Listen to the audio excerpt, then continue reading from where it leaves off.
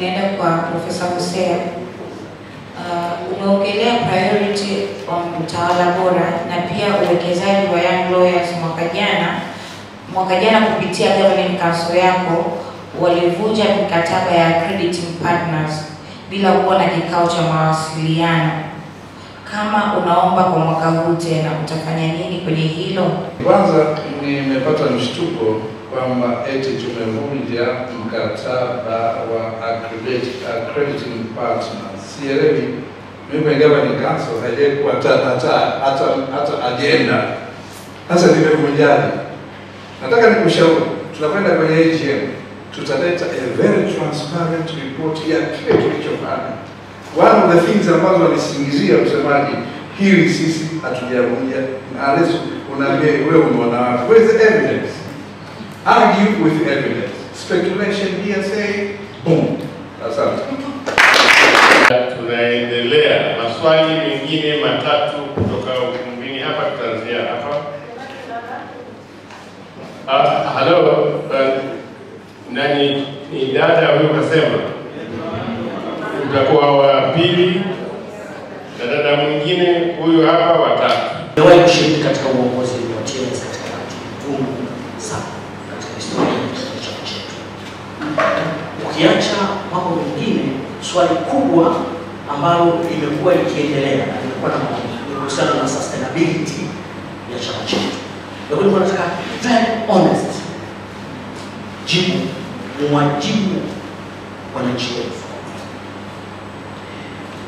Mnafikiri kiongozi wa TLS siku challenge Muslim.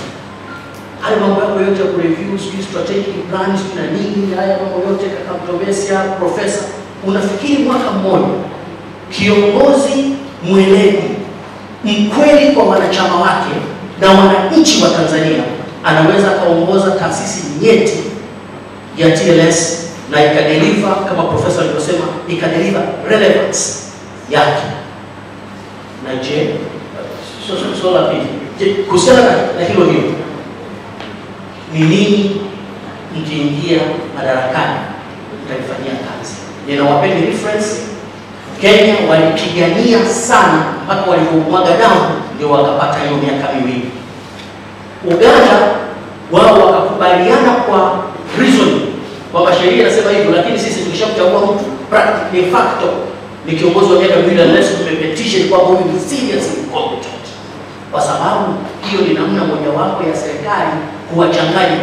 Mwaka huu ameanza huyu, ameenda kwenye reli, anatoa wagombea wengine, wanatoka kwenye anatoka kwenye mstari. Kila siku mnakuwa mna ajenda nyingine ya ulimi ya Fatma ya.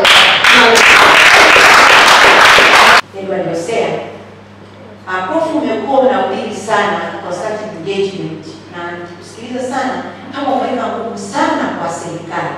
Sasa ndio TLS serikali tu. Tukikumbuka nyuma president waliopita walikuwa wanajijenga mpaka na donors. Tulikuwa na dona kina UNICEF, tulikuwa na dona wengine ambao walikuwa na support activities kama alivyosema mwalimu wangu Professor Shiki kwamba at some point we need to go to the community to support some community activities.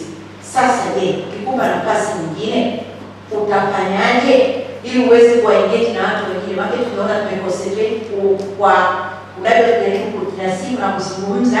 Nimekuwa nikisikia nikifuatilia, umetoa mifano mingi ambapo umefanya kazi kwa engage mode gani. Sasa tunataka utuambie utafanyaje sasa ukipewa kipindi kingine kuwaleta wale watu ambao walikuwemo kama mashirika mengine ambao wenyewe hawako interested kukupa hela kuinvest, wako interested kukupa hela za society kwa sababu na contribute uh, una mchango mkubwa kwenye jamii ili uweze kusaidia jamii. Swali langu ndio hilo Itokana na watu kusema hapa, nyie mnasema kwamba tusiengage. Na kwetu sisi Afrika ilikuwa kweli swala la uh, makaburu na walowezi wa Rhodesia, lakini wakawepo watu wanasema kwamba hata na hawa watu ambao mnaona kwamba ni watu waovu tunaweza kuengage nao, si kwa kufanya biashara tu, kwa sababu biashara ilikuwa lakini vile vile kwa kujaribu kuwashawishi kwamba waachane na hii mipango yao miovu na waone hilo mnavyosema nyie Kwa hiyo ndio ifanye hiyo term ya constructive engagement. Otherwise haina maana yoyote nyingine. Ni kwamba kuna mtu ambaye kimsingi unasema huyu tuna antagonistic relationship. Je, tunaweza kuengage naye hata hivyo? Eh, sasa labda inahusu uhusiano uliopo kati ya TLS na, na, serikali. Sina hakika. Walisema walitamka moja kwa moja na si tusimseme mtu kama vile tunamsengenya. Alisema hivyo ni mwanasheria mwenzetu advocate mwenzetu uh, Dr. Harrison Mwakyembe nakumbuka, na engagement yetu nadhani ya TLS ikawa constructive sana kwa sababu itia chachu mkutano wa Arusha eh, kiasi cha kwamba ikaonekana kama Mwakyembe alifanya kampeni ya Lissu. Manake kura alizopata Lissu ilikuwa namwambia yeye mwenyewe kwamba inawezekana nyingi zilitokana na msimamo wa Mwakyembe. Sasa hiyo engagement tuliipata wakati ule Mwakyembe alipojaribu kuonyesha kwamba serikali ina uwezo wa kupata kuwafuteni nyinyi, na wanachama wa TLS wakasema kama ndio tunaweza kufuta basi tufuteni, lakini tukifuta rais wetu akiwa ni Tundu Antipas Lissu. Nataka kuonyesha tu hiyo historia. Tu, tu, tumalize na watu wengine wawili. Kuna kuna mwanamama mwingine Alo- Naitwa Okusima Naitani. Swali langu nalielekeza kwa Mr. Harold Omusia. Ah, Katika maelezo yako mgombea, nimekusikia ah, ukianza na kusema kitu kilichokufanya uingie katika kinyang'anyiro hiki ni kwamba umesikia wafanyakazi hawajalipwa kwa watenesi hawajalipwa kwa miezi mitano, umesikia uh, TLS haijaingia sijui bungeni. Sasa nimesikia maneno umesikia, umesikia, sijasikia kusema kwamba nilifanya uchunguzi na kuthibitisha kwamba madai haya ni kweli, ndipo nikafanya maamuzi ya kuingia katika kinyang'anyiro hiki. Kwa haraka haraka, mtu yoyote akiniambia maneno haya, mi napata picha ya mtu ambaye anakurupuka katika maamuzi. Sawa. Kwa hiyo swali langu ni kwamba wewe ukiwa ukipata nafasi unanihakikishaje kwamba utakuwa kiongozi ambaye anafanya maamuzi yake kwa kukurupuka na kukipeka chama katika mwelekeo mbaya? Kuuliza wagombea kwamba katika miaka hii mitatu mwenendo wa chama umekuwa ni ule ambao hauangalii zaidi interest za mawakili. Hii miaka mitatu uchaguzi, uchaguzi au uongozi umekuwa ukichaguliwa kwa interest za umma huko nje. Sasa naomba wagombea mtuambie, wacha kama ile swali ambalo mtu ameuliza kwamba umesikia wafanyakazi, umesikia nini, mipango gani mitatu muhimu ambayo mko tayari kuifanya kwa faida ya wanachama wa chama cha mawakili Tanzania, ili mawakili waweze kuchukua nafasi zao kama mawakili, mawakili waweze kuenjoy practice yao, mawakili waweze waweze kufaidika na uchumi wa nchi ambao tunataka uchumi unakuwa na uchumi unakuwa, lakini kiuhalisia sheria zilizopo, mipango iliyopo, utendaji, mifumo ambayo tunaangalia nayo kila siku, sisi wenyewe tunaparangana kwa faida ya wengine, wakati mawakili kila siku wanashindwa kurenew, mawakili kila siku wanashindwa kwenda Arusha, mawakili kila siku wan- wan- wanashindwa kufanya shughuli za kila siku kwa sababu mifuko hairuhusu. Ukiangalia members ambao na renew kila mwaka, members ambao wana renew kila mwaka practice certificate, kila siku inazidi kushuka. Mawakili wanapishwa wana- wanapishwa 1500 au 1000 wanapishwa sababu wana- wana- wanalipiwa practice certificate wakati wa kusomeza law school na wazazi wao. Wakija mwaka wa pili, mwaka wa tatu hawawezi kurenew. Kwa sababu gani? Mifumo iliyopo haiwalindi mawakili kiuchumi. Sasa nini mipango yenu mitatu ambayo itasimamia haki za mawakili kama mawakili? Asante sana. Mimi nataka kushauri wagombea. Wagombea wote watatu ni wazuri, lakini katika utatu wao lazima wawe vizuri zaidi. Taasisi ni yetu, lazima tuipiganie. Wilini amesema na mimi namuunga mkono, mwaka mmoja hautoshi kwa namna tulivyosikiliza. Hivyo naomba niwashawishi kakangu Sungusia na ndugu yangu Mtobesi, mwacheni profesa malizo mwaka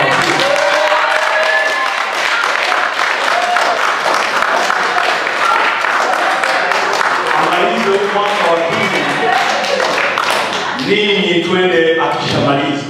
Ni sisi wale wale tutawapa dhamana kukalia hicho kitu. Kwa nini? Dhana ya constructive engagement tuiishi kwa vitendo, au nasemaje? profesa? Na bila kumumunya maneno, tumepitishwa kwenye shida kubwa mno. Ah, Samahani, wakili, unamuuliza maoni yake Hapana, hapana moderator. Nimesema anatoa ushauri. Kwa hiyo katika ushauri ndo na Ah, Sasa mtegemea aseme hapana. Alikuwa ananiunga mkono. Kwa hiyo naomba kama tunakubaliana sisi tutakwenda na agenda kwenye mkutano mkuu. Kwa nini kila siku tunarudia pale pale? Tu, sisi wenyewe tunajiumiza, lakini tunauliza tunaumiza pia jamii tunayoishi. Tutakwenda pale kuomba tuwe na hiyo miaka miwili. Kwa hiyo mimi wawili wetu, ushauri wangu kwenu, tumwache profesa aende, ninyi tutawafikiria mwaka Asante. Watajibu sasa kama wanakubali ushauri wako, watasema tunaanza na na wakili Mtobesi. Na, na, na, swali la kaka yangu Godwin Simba Bilini. Uh, ni kweli kipindi cha mwaka mmoja ni kipindi kifupi, lakini naamini kwamba kama kila mmoja akiingia kwenye uongozi na akafata mikakati tujue, kwa sababu na, na hili nimekuwa nikiwaambia watu unapoingia kwenye uongozi wa, wa, wa GC Walter tumeongoza pia, ufiki na kuanza kuinvent the wheel, namna hiyo society singesogea. Kila anayeingia akianza kufanya mambo yake, hatuwezi tukasogea. Ndio maana kuna kuna sheria, kuna kanuni, kuna mipango kazi kama hii. Tekeleza wajibu wako ndani ya mwaka mmoja, acha mazingira mazuri, mwenzako akija endelee, kwa sababu waliotunga sheria nadhani ndivyo walivyoona inafaa na na mimi naamini kwamba kwa mfano tukiheshimu uh, hii mipango kazi iliyowekwa hatutapata shida ya kusema sijui kuna vitu sijavimalizia, kuna hiki. Kila kitu kilichopo na ambacho unatakiwa kukifanya kishakuwa well documented, you are not reinventing the wheel.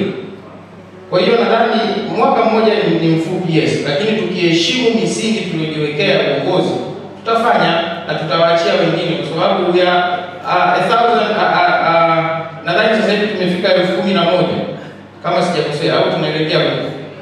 Sasa tuki, tuki, tukisema kila mmoja aachiwe aongoze kwa muda ambao anaona unafaa, sidhani, na hii ni society ya kwetu wote. Kwa hiyo kwa kipindi hiki ambapo kuna bado kuna mwaka mmoja, yes, turidhike, tuongoze, kila mmoja afanye majukumu yake, amalize, aondoke. Kwa hiyo nadhani hilo ni- nilijibu hivyo nilivyo nilivyoliweka. Ah, kaka yangu Walter rafiki yangu mtu ambaye tumesema pia kwenye council, ni kweli unachokisema ni sahihi. Mimi nime, nime tunakutana mahakamani, we practice every day, tunaona uh, shida tunazozipitia na uh, struggles about renewal, struggles about to maintain ofisi, kuna compliance requirements nyingi. Tunazifeel wote. Uh, sasa nadhani na, na, na, ni, ni swala ambalo uh, linaweza likatatuliwa kama tukiweza kuwasaidia. Sasa of course mimi nimekuja na idea ya kuwasaidia wadogo zetu young lawyers ambao tukisema tukilevo uh, tukisema tumesh, tufanye measurement ya level ya struggle, nadhani wao ndio wana struggle zaidi na of course kwenye kila kitu tunachotaka kufanya you have to start somewhere. Kwa hiyo nadhani sasa hivi tuanze na, na hawa wadogo zetu kwenye hiyo scheme ambayo nimefikiria ambayo itawasaidia, kwa sababu najua ukisha kuwa when you have a good business hizi uh, requirements za kulipa ada sijui kwenda Arusha kufanya nini meet kwa sababu una, una income unayoingiza. Kwa hiyo nadhani tukianza na hii scheme kwa young lawyers kama nilivyosema, wakafanya fundraising, wakaandika proposal nzuri, wanaweza wa, wa, wakaweza kujisaidia kupata mapato, lakini pia tukiweza kujisaidia chama chetu kikaweza kuwa financially sustainable kwa kuirudisha ile ile ile department ya, ya business development na resource mobilization. Mimi baada ya kuingia ndani ya TLS bila kumuunya maneno, siwafichi, wanachama hawezi kuisustain TLS. Michango yao iko below, hata robo haifiki ya maji ya TLS. Yeah. Nawaambia ukweli kabisa, 900 million against 6 billion. Mimi nime- nimehedi shirika kubwa, naelewa administration ya organization. I'm not giving you theories. Kwa hiyo ili tutoke hapa, ili tutoke hapa, we have to have investment. Na mimi nitakuja na program ya investment na DC yangu ili partnership na watu ambao watatumbukiza capital, TLS jiendeshe. La pili, najua watu wengi wanadhani kwamba TLS ina opportunity ya kupata donor funding. Jamani, mwalimu alisemaje kuhusu donor money? Tujitegemee, donor iwe supplementary tu. Donor wana permanent interests, donor they permanent. Kwa hiyo interest zao akiwa unavyotaka no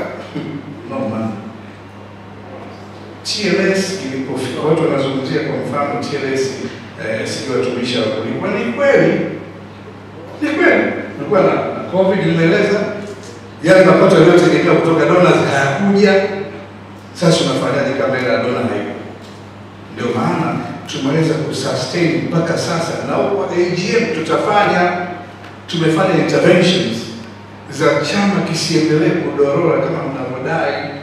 Tuliowapunguza ni wale tunaita volunteers, ili tupunguze mzigo wa wage bill. It's a pragmatic decision, inatuuma but a decision must be made. Tukivuka hapa kama anavyowaambia na mipango ambayo nimeiweka, mtashangaa mwanachama hata